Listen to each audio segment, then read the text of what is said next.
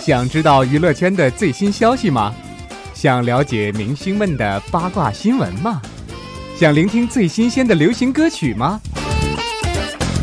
敬请每日关注娱乐秀娱乐秀。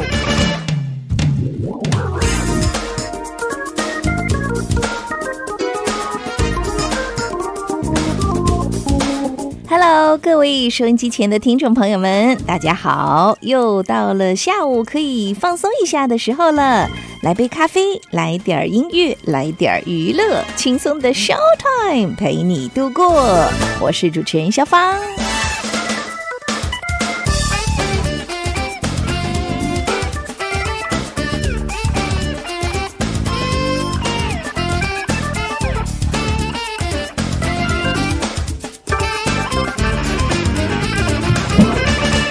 娱乐秀就在每天下午五点，AM 一四五零，美国中文电台。我是主持人肖芳，欢迎今天关注我的节目，收听娱乐秀。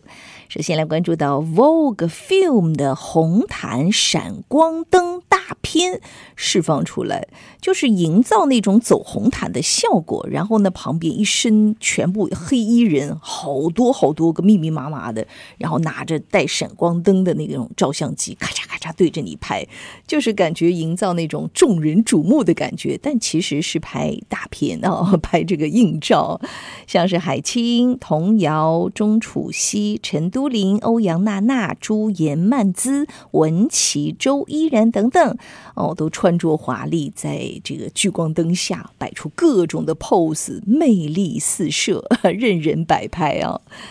啊，再来关注到萧煌奇，台湾的这首位盲人歌手，最今天他是在微博中晒图辟谣，说一直在装看不见，这则传闻是假消息。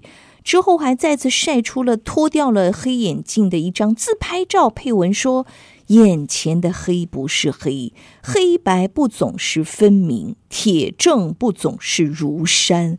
愿世人保持良善，良心安，身心安顿。”我天哪，怎么会这样子哈？其实也是在二十号的时候，有网友晒出一张截图，应该是早期黄子佼爆的料。就是最近深陷 这个丑闻事件，然后自己又自杀，现在不能够言语的这位主持人黄子佼啊，他爆料说，这位歌手台湾的黄哦萧煌奇，其实在装，他一直都看得见。天哪，这个不是开玩笑随便说说的吧？他是不是有什么内幕，或者他私下里知道什么消息？那二十号晚上，萧煌奇就现身评论区回复说：“这篇是假消息，请撤除哦。”目前这篇帖子在该网友的社交平台上已经找不到了。公开资料显示，萧煌奇因为先天性白内障而全盲，四岁的时候动了眼部手术，成为弱视，但是十五岁因为用眼过度而又失去了所有的视力。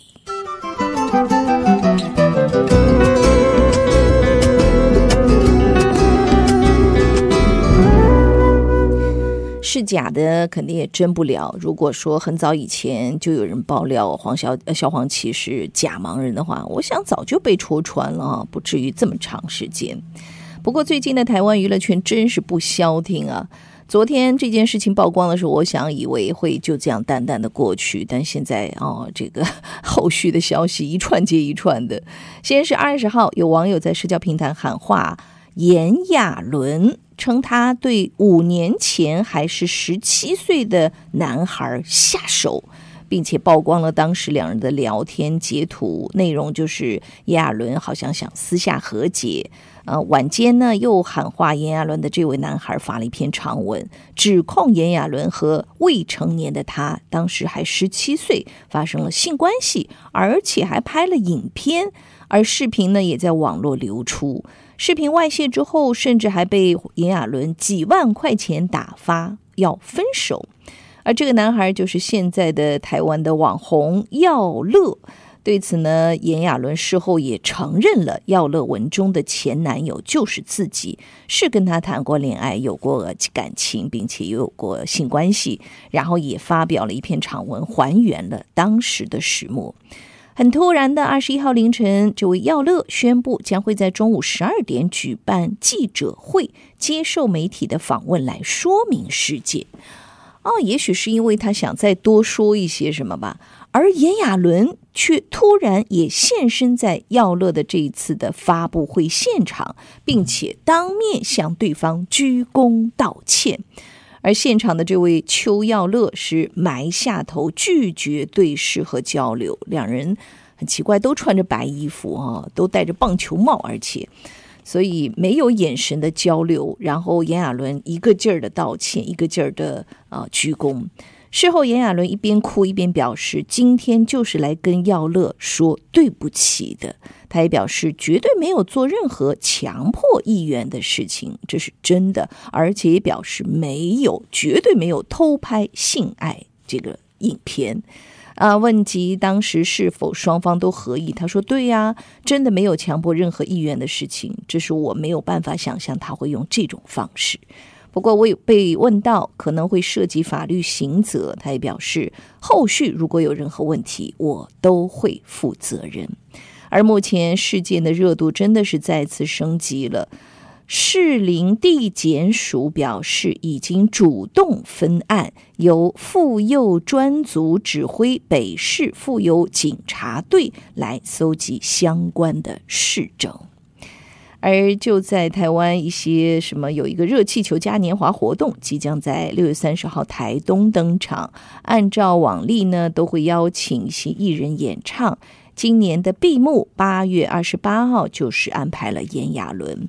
那如今炎亚纶疑似被卷入 Me Too 风波，主办单位今天就表示，基于热气球活动配合演出的艺人都需要有健康形象，所以已经决定撤销炎亚纶的表演，将会再找其他的艺人来担任压轴的嘉宾。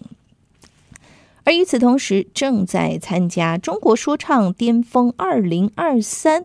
其中来自台湾的顽童 MG 幺幺六的组合的三位呃 rapper 不是都参加了吗？其中的一位瘦子也碰到了麻烦。就在二十一号晚上啊，一位女性受害者在律师以及葛思琪 这位狗仔记者的陪同下开直播，控诉十七年前她还在酒店做小姐的时候工作时。遭到瘦子啊被他拉进包厢性侵，嗯，那对此呢，瘦子所属的经纪公司马上就发表声明，没做过，请拿出证据，明日提告。瘦子经纪公司发表声明否认，并表示 “Me Too” 是好运动，但诽谤文化也应该受到惩罚。Me too，我刚才已经提到了好几次了。我也是。这是一个由女明星艾丽莎·米兰诺等人在二零一七年十月，针对美国金牌制作人哈维·维恩斯坦性侵多名女星丑闻所发起的一项运动。当时就呼吁所有曾经遭受过性侵犯的女性挺身而出，说出你们的惨痛经历，不管时间多长啊，并且在社交媒体上附文贴上 “Me Too” 这个标签，希望借此来唤起社会的关注。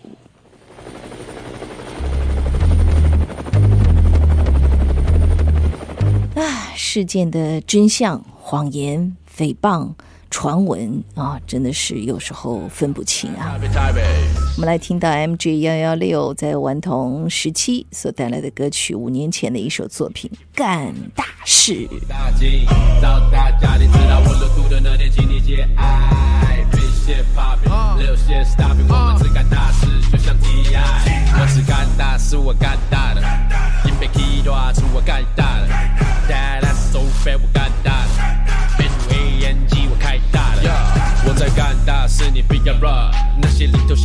小利留着，宁可不要赚。承认吧，没有好处的活谁要干？没有在玩正装黄金，我们不靠岸。女人想要钻戒，五星级的饭店，小子没有碰过我的白金没有概念。Work hard 到半夜，其他人都在睡，我们来的地方每个兄弟都想上位。谁管 hiphop 还不 hiphop，太小家子气。高中还没毕业我就学会做生意，天生干大事的笑脸，当比富二代争气。没有含着金汤匙超公司，风老死地。我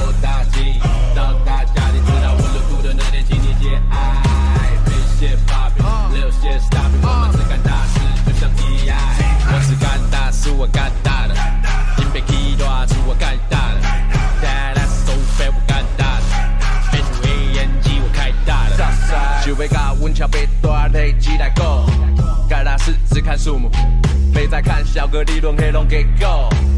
经常塞爆我的账户，我从来不找谁靠，自己当做股票，干大中要够肯动北调，哎他小心照。当我在家数钞票，出手是阔少，鸡妈娃娃刚我家庭住宿都没人给叫，干得高粱才醒目，北齐还搞不清楚，顶住几十个衣服，我的人都在同一路，差旗很少做讲吐，兄弟们干别讲户，当我的发财路，那些绊脚石全部都铲除。我大吉，让大家你知道我入股的那天，请你，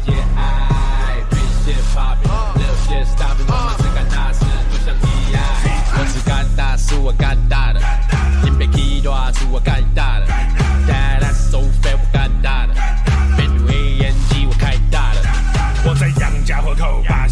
夺走，快发牌解决要发财，乐色赶快挪走，当入门都没有，现在跟你挥手，再就拿那别想发达，把你马子挥走，没在怕事我都干，胸怀大志，赚钱不偷懒，下手过后我才不想糊口饭，心狠手辣要干大事得不择手段，拼了命在网上闯荡，我的状况狂妄，老乡榜样，传遍这地方上，八关不紧张，因为一直紧张，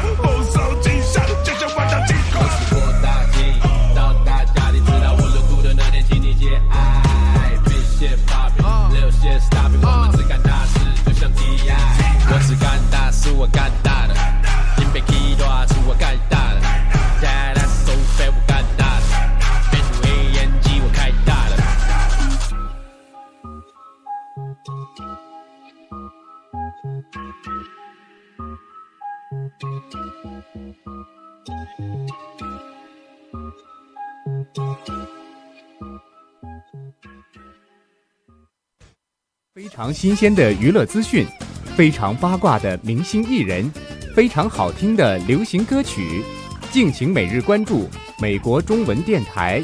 娱乐秀。娱乐继续秀，时间还在继续当中。我们歌曲过后继续回来秀，我是主持人小芳。下面这则消息啊，音乐圈的好振奋人心的消息，就是流行巨星 Taylor Swift。明年将奔赴欧洲和英国的多地，继续他的英时代之旅巡回演唱会。消息一出，网上是一片沸腾啊！这也是昨天啊，星期二的时候，三十三岁的梅梅在社交媒体上公布了二零二四年度演唱会的一个日程表，还写道：“嗨，打扰一下，我有话要说，我迫不及待想在明年这些新的国际巡演的日子里，在时代。”之旅中见到你们，哇！下面是一一串哦，像英国和欧洲站是明年的五月九号在巴黎拉开帷幕，之后辗转瑞典、葡萄牙和法国的里昂，然后六月七号到八号在爱丁堡连演完两连演两晚，然后再前往利物浦、卡迪夫、都柏林，之后是阿姆斯特丹、瑞士、意大利、德国、波兰、奥地利。八月十六号到十七号在伦敦的温布利球场收官谢幕。Sabrina 卡彭特将作为特邀嘉宾加入。哇！真是啊，疯狂的歌迷们通过点赞来表达自己激动的心情。十个小时就收获了四百二十四万颗小红心。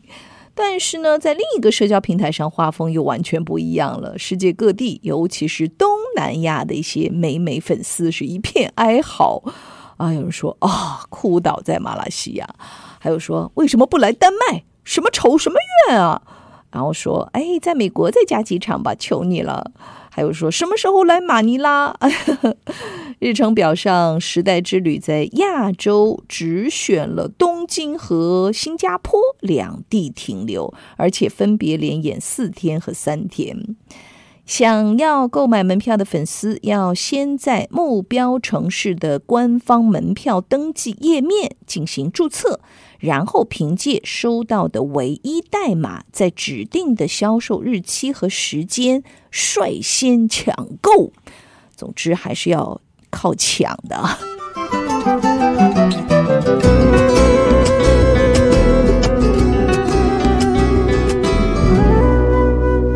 好了娱乐秀，接下来了解电影方面的消息。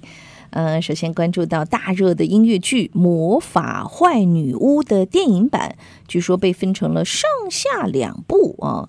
有媒体最近报道，原定于二零二五年的。十二月二十五号的下部的电影版，目前被提前到同年的十一月二十六号北美上映。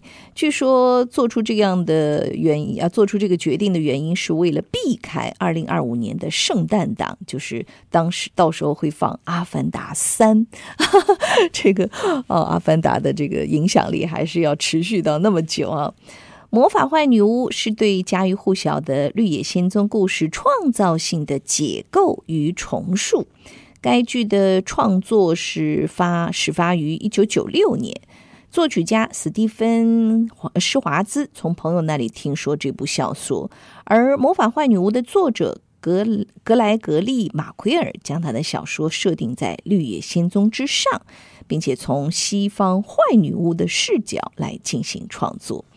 该剧的故事就发生在两个女巫之间，通体翠绿、遭人排挤的艾夫巴，还有娇俏讨喜、志存高远的格林达，在经历了一系列的理想与幻灭、背叛与宽恕之后，他们结下了深厚而难言的友谊，并且也收获了各自的历练与成长。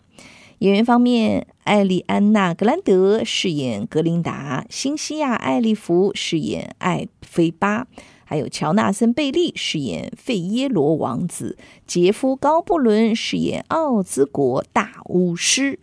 曾经执导《舞出我人生》的导演朱浩伟将会拿起刀筒执导这部电影。原来的音乐剧编剧温尼·霍尔兹曼和作和词曲家斯蒂芬·施华兹将继续为电影进行创作，马克·普拉特来制片。另外一个也有改档的是由卢卡·瓜达尼诺执导，赞达亚、乔什·奥康纳、麦克·费斯特所主演的新片《挑战者》，最近也发布了全新的预告。在预告中，一段发生在三位网球运动员之间的纠葛的故事被和盘托出。人们在生活和运动场上努力搏杀，最终走进了人性和欲望的漩涡。整个预告充满了象征意义。虽然故事比较写实，但是在整体的电影语汇上却非常具有个人风格，很值得人们期待。而影片是由卢卡·瓜达蒂·瓜纳尼诺来指导，他此前的《请以你的名字呼唤我》《阴风阵阵》都获得了大量的好评。目前，米高梅已经拿下了影片的版权，赞达亚、瓜达蒂诺和蜘蛛侠的系列制作人艾米·帕斯卡参与制片。而这次的改档也预示本片会参与到今年的颁奖季的争夺当中，因为影片将于九月十五号美国上映。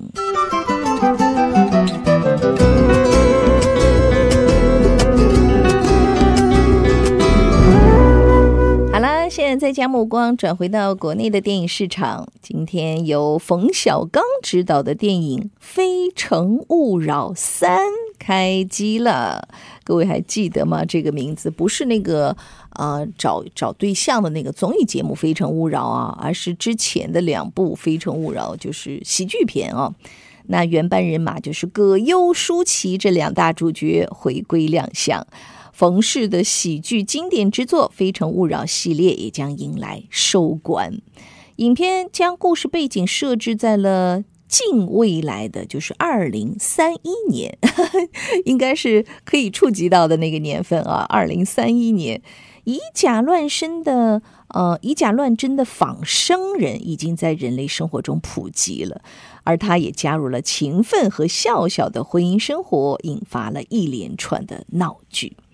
在昨天的开机现场，葛优和舒淇都亮相，两人还致敬了前作的经典台词，拉了一个横幅，写着“啊，买卖散买卖不散交情啊，买卖没散，交情还在”。一个横幅上面写的，啊，真的还是熟悉的感觉。片中的两位主角的爱情从阴错阳差开始，如今也拍到了第三部，终于实现了那句。一辈子很短，我愿意和你将错就错啊！第一部《非诚勿扰》是在二零零八年收获了二点六亿的票房，位列当时的历史第三。二零一零年的《非诚勿扰二》累计票房也有四点七亿，而这两部系列当中许多桥段，至今仍是网络啊一些津津乐道的热梗。如今第三部的原班人马齐杰，也是让人对这部收官之作倍感期待。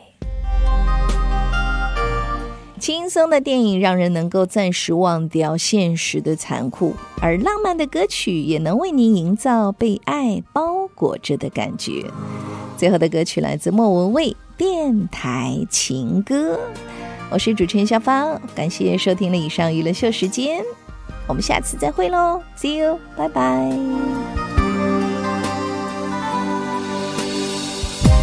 谁能够将天上月亮电源关掉？